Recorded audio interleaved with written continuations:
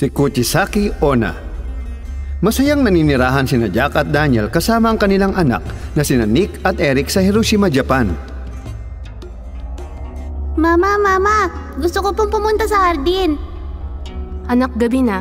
Huwag ka nang lumabas. Pupunta tayo sa hardin bukas. Sige na po mama, maglalaro lang po kami sandali at uuwi po agad. Sige na nga. Pero pangako mong iingatan mo ang kapatid mo ha. Pangako po mama.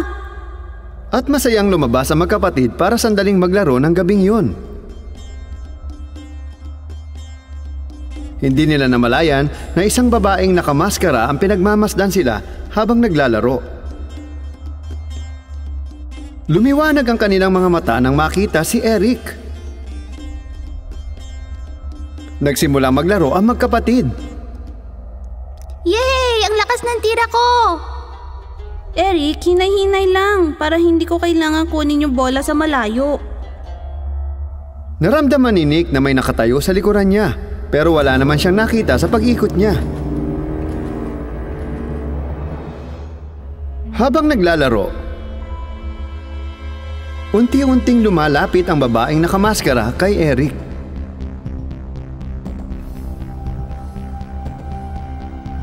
Nakatitig ang babae sa kanya.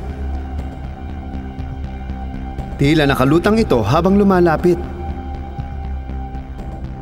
Malakas ang tama ni Eric ng bola at lumipad ito sa labas ng hardin. Ano ba yan, Eric? Ang lakas ng tira mo. Sabi ko sa'yo, hindi ko kukunin yon. Nililipad ang buhok ng babae sa hangin, ngunit nakatitig pa rin ito sa batang si Eric. Nakalutang itong lumapit sa kanya. Ngunit nang tumingin si Nick, bigla siyang nawala. Pasensya na, kuya. Ah, okay lang. Kunin ko yung bola. Diyan ka lang, huwag kang aalis dito. Lumabas si Nick ng hardin para hanapin ang bola. Habang naiwang mag-isa ang kapatid niyang si Eric. Biglang dumating ang babae sa likod ni Eric. Sino po kayo? Bakit mo kailangang malaman? Sabihin mo lang, maganda ba ako? Naguluhan si Eric at napatingin lang sa babae. Bigla na lamang lumipad ang babae at tumawa ng malakas. Umilaw ang mga mata nito. Maganda ba ako? Opo. Pagsagot ni Eric, lalo pang tumawa ang babaeng nakamaskara. Dahan-dahan niyang inalis ang kanyang maskara at ang kanyang buong mukha.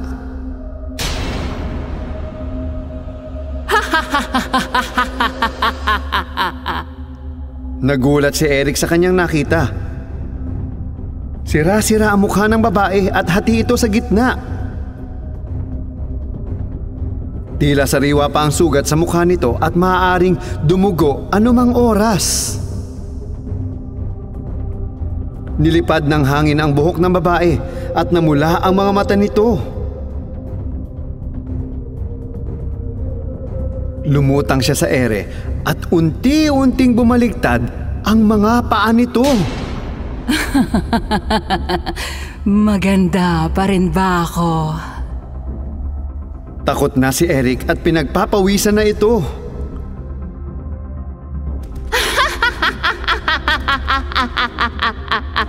Sabihin mo, maganda pa rin ba ako? Kapag sinabi kong hindi, baka patayin niya ako. Opo.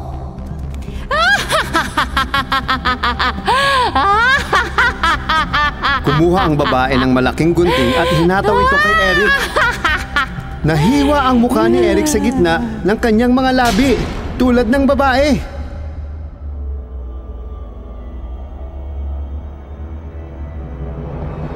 Lumabas ang dugo sa bibig ni Eric at naramdaman nito ang sakit.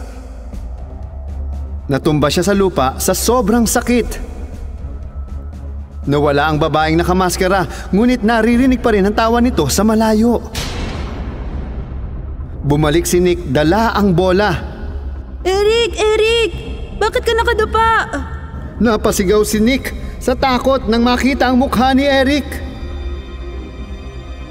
Agad siyang tumakbo pa uwi. Agad dumating ang kanyang pamilya sa hardin. Eric, anak ko! Anong nangyari sa'yo? Huwag kang mag-alala, mahal ko. Dalhin natin siya sa ospital. Nagulat ang mga tao sa ospital na makita si Eric. Isang matandang babae ang nagsalita. Mukhang gawa ito ni Ona. Dumating na siya.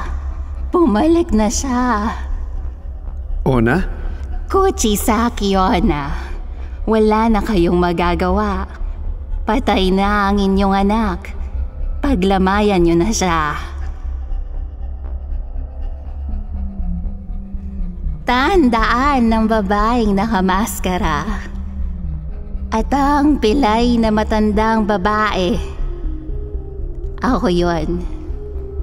Hindi! Hindi maaari ito! Sinong babaeng nakamaskara?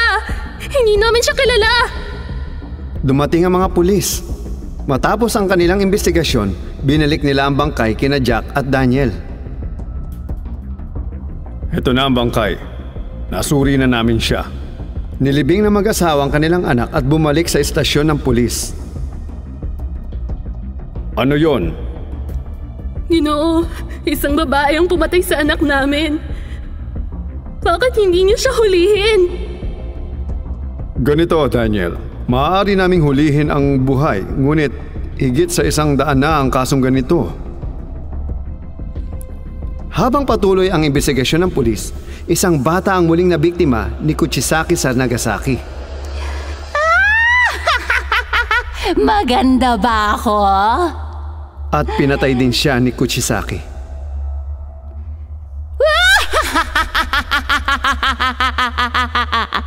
Multo ang pumatay sa anak ninyo. Hindi namin mahuhuli ang multo at malamang nasa ibang lugar na siya ngayon at may bagong biktima. Pero bakit? Si Kuchisaki Ona, hindi mo kilala? Ikikwento ko sa'yo. Noon may isang babaeng nangangalang Kuchisaki mula sa Japan. Sadyang napakaganda niya at pinagmamalaki niya ito araw-araw. Nagpakasal siya sa isang samurai. Kuchisaki, napakaganda mo at napakapalad kong mapangasawa ka. Ako ang pinakamagandang babae sa buong mundo. Kaya dapat ipagmalaki mo ako. Lumipas ang ilang taon at lumaban sa gera ang samurai. Kuchi, lalaban ako sa gera. Ingatan mo ang sarili mo at lagi mo akong sulatan. Mahal na mahal kita. Mahal na mahal din kita. Matagal nang nasa gera ang samurai. Nung una, madalas magpadala ng sulat si Kuchisaki. Ngunit biglang nahinto ang mga ito. Sa kabilang banda, hindi naging matapat si Kuchisaki sa kanyang asawa. At meron siyang bagong kinasama. Kuchi, napakaganda mo. Sa akin ka na lang. Iyong iyo ako. Pero ngayong gabi lang. Ayokong ipamigay ang ganda ko basta-basta. Samantala, sa gera, natanggap ng samurai ang isang sulat tungkol sa ginagawa ng kanyang asawang si Kuchisaki. Hindi! Hindi maaaring mangyari ito! Sa akin ka lang. Akin lang.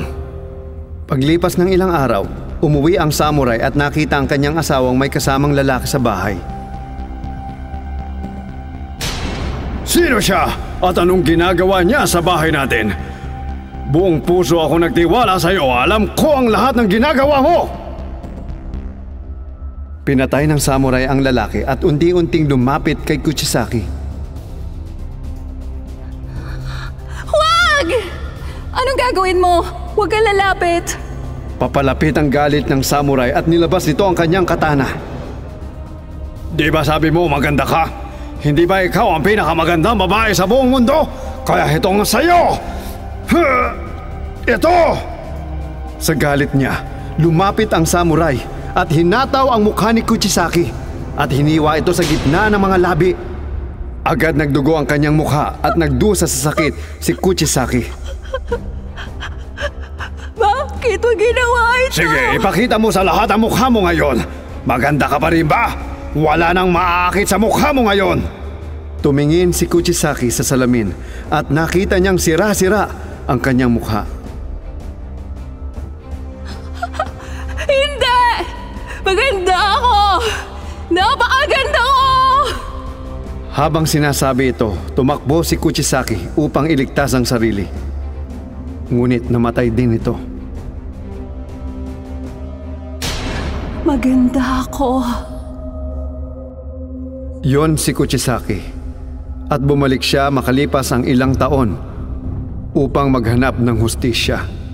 Nakapagtataka, bakit mga bata ang binibiktima niya? Hindi namin alam. Itatanong lang niya, maganda ba ako? Pag sinabi mong oo, hihiwalay niya ang mukha mo at papatayin ka niya. Pag sinabi mong hindi, susundan ka niya pa uwi at ah, doon papatayin ka rin niya. Pag oo o hindi ang sagot mo, papatayin ka pa rin niya. Hindi rin namin maintindihan kung bakit ganun. Kaya kung ako sa inyo, hayaan na lang natin dahil wala na rin tayong magagawa. Multo ang kalaban natin. Anong gagawin namin ngayon? Ha, natin? Wala. Kahit ang mga eksperto, hindi siya mahahanap. Wala kayong gagawin? Hahayaan nyo na lang siya? Ano? Ang masasabi ko lang, humingi ka ng tulong sa eksperto at magdasal na mawala ang sumpa ni Kuchisaki. Bali-balitang patuloy ang pananakot at pagpatay ni Kuchisaki sa mga bata sa Japan ng maraming taon. Maganda ba ako? Hindi. Isang araw, tuluyan na siyang nawala.